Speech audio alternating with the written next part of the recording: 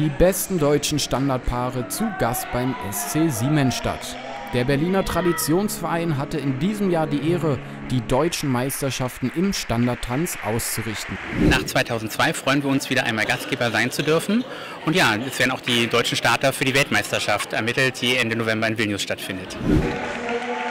Nachdem sich die Paare am Samstagnachmittag noch in den Vorrunden beweisen mussten, ging es am Abend dann ums Ganze.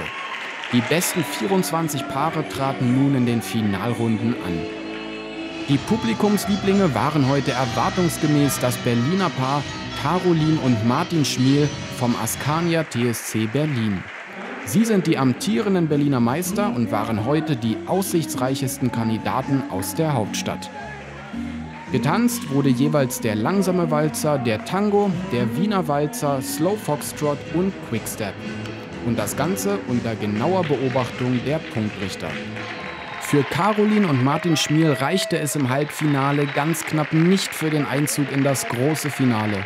Mit dem Anschlussplatz sind die beiden trotzdem sehr zufrieden und wurden darüber hinaus vom Publikum zum sympathischsten Paar des Abends gewählt. Einfach ein super Ergebnis, auch wenn es jetzt quasi nur der Anschlussplatz ans Finale war mit dem siebten Platz, aber es ist einfach toll, weil die Konkurrenz hoch ist und wir sind super glücklich.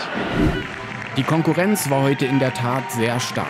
In der Finalrunde konnte das klar favorisierte Paar Violetta Posmetnaya und Thomas Feinsiel die Jury dann auch von sich überzeugen. Die gebürtigen Litauer siegten eindeutig und konnten sich somit über ihren ersten deutschen Meistertitel und die Teilnahme an der Weltmeisterschaft in ihrer Heimat Litauen freuen. Uh, to be cheered so from the first dance was really exciting. Yes, we enjoyed a lot. It was actually a little bit stressful because it was first German championship, but we enjoyed from the first minute and uh, we really was waiting for it for the whole year. So now it's payoff. Das litauische Siegerpaar mit deutschen Wurzeln tritt erst seit Juli 2017 für Deutschland an. Beide haben den Großteil ihres Lebens in ihrer Heimat verbracht und sich dort auch kennengelernt. Die WM in Vilnius sollte daher eine Art Heimspiel werden.